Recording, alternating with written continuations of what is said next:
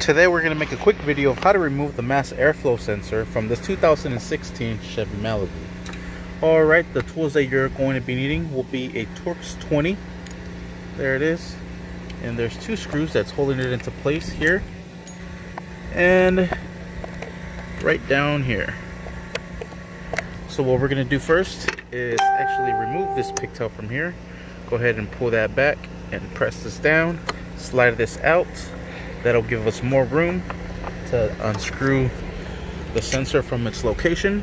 So let's go ahead and unscrew both of these screws from here. Alright, and just put the screws in a nice safe location.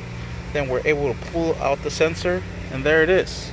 And that is how you remove a sensor the mass airflow sensor from a 2016 Chevy Malibu. Thank you for watching. Please like and subscribe. Make sure you stay tuned to the next video of how to install the mass airflow sensor. Thank you for watching.